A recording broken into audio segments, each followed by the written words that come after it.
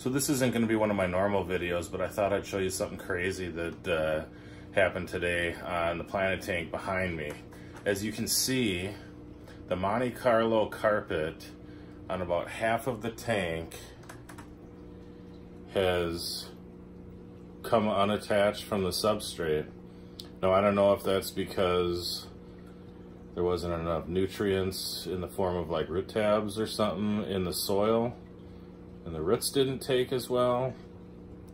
Um, I wouldn't think that would be the case because I, uh, I used ADA soil in there.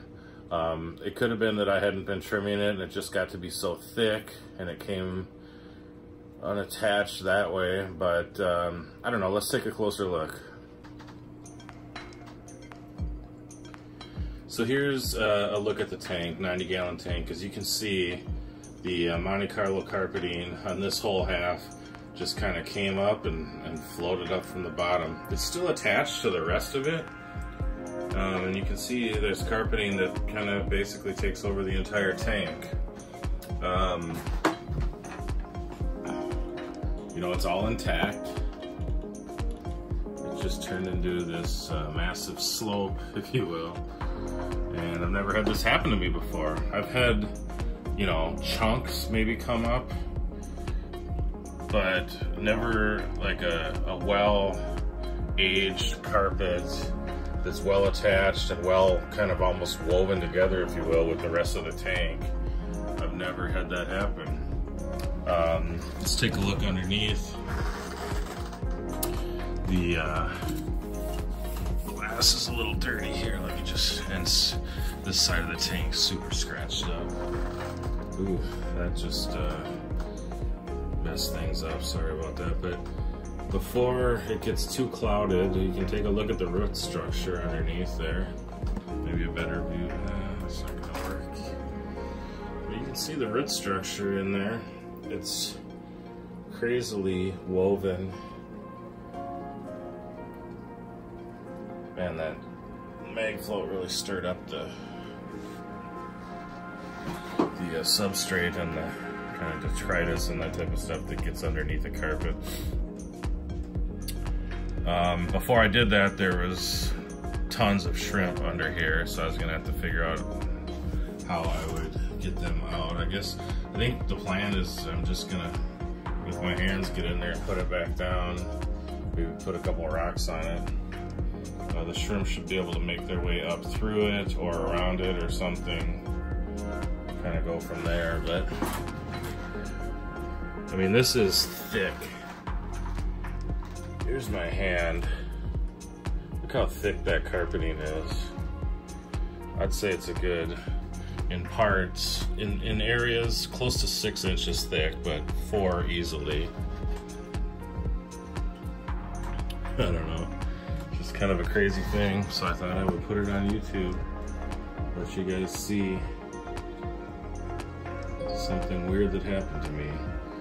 Um, other than that, though, this tank's been doing good. Um, maintenance, I've been a little lacking. You can see uh, some kind of algae um, spots on the glass. The AR Mini never really took off, and I'm not going to dose iron in this tank because I'm growing shrimp, so that was probably a bad idea, um, but it is what it is. The Ariel Vietnam's doing real well. Uh, fontanus is growing great. There's a nice patch of it there. You can see past the algae. Another nice patch of it. So things are going well, other than I can't keep the carpet down. But uh, we'll we'll work on that. Now you can see some of the shrimp have come back since things have settled down a little bit over here. I don't know if you can see that or not, but they're in there. I'm gonna go ahead and get working on it and uh, probably show you a shot of it after I get the carpet back down. Not quite sure how that'll work, but I'm gonna give it a shot. So yeah, let me know what you think. Uh, has this ever happened to you before? What could I do to prevent this in the future? Not that I've ever happen, had it happen before, and I've had tons of uh, carpeted tanks, especially this tank right here. I've had, oh, I don't even know, but uh, I've had real lush carpets in this tank over the years. So let me know what you think. You ever seen anything like this? Please comment below. Let me know what I could do different to prevent this. Let me know a good way to keep it so it'll kind of reattached. Let me know what you're thinking. If you're looking for any fish food, shrimp food, things like that, go to aquaticsupportsystems.com. Um, we've got a lot of cool things there. So stay tuned. Take care. Thanks for watching. All right, we're back. I uh, I got the carpet back down, and I uh, thought I would uh, kind of do a uh, addendum to this video or a uh, an addition at the end, if you will. But uh, what I did is I went ahead and took some additional pieces of dragonstone, or I guess you'd call it Ohko stone, I think, um, and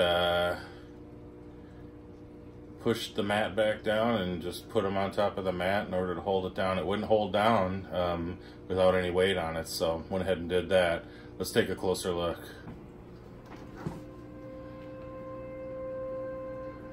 All right, so this is in no way in nice as condition as it was prior to this happening, but at least I got the mat down.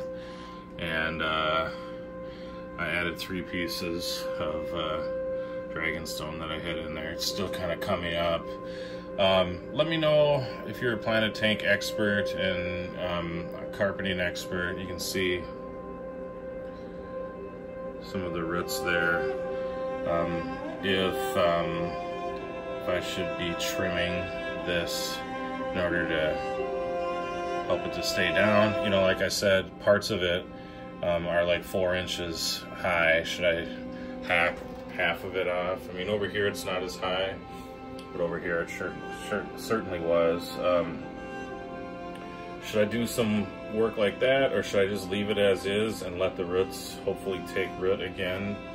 And then, um, or should I take a bunch of it out and just um, cut some clumps and uh, plant some clumps, move, and then move the rest of it, get rid of it, throw it away, sell it, do whatever, that type of thing. Um, I don't know, anybody who's uh, more of an expert than I am on planted tanks, especially high-tech planted tanks, let me know what you think, and uh, we can try to do something. But yeah, that's kind of weird and uh, interesting all at the same time. Never had this happen before. You can see over here, I tried to stuff it down in the corner so the roots would take, but I wasn't able to get it down real well. Um, The other thing that's weird too is I hadn't seen scuds in this tank for, I don't know how long I've had this planted, well over a year, because I've had these cardinal tetras in there and they keep them at bay, but I've noticed some scuds that had been living underneath the carpet, I guess. Like there's one right there, I don't know if you can see it. Um, so they're kind of out and about now that this disturbance has happened in there. So the, the cardinal tetras are just kind of like, hey, free food in here and they're all over the place. Um, and I also found a couple of planaria, which, you know, I never see.